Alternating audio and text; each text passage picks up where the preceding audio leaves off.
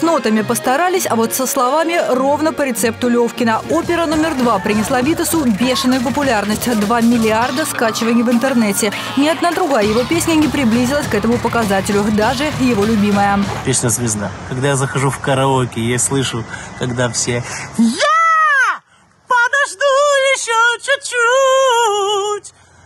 Это большой показатель. Я писал эту песню от души. Но и ему миллионы долларов принесла не любимая российскими поклонниками песня, а непонятый на родине вокалист.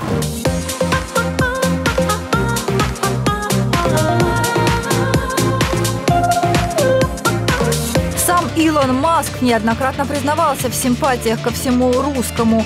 Очень полюбил и седьмой элемент. Для американцев чем тупее, тем лучше. Вот этот э, формат достаточно примитивного сочетания вот этих звуковых колебаний э, языковых и вот это, э, минимального количества слов сделала с мировым событием. Настолько, что Витас единственный российский исполнитель, чьи альбомы загружают в плейлист Теслы еще на заводе. За это право компания Илона Маска заплатила 10 миллионов долларов.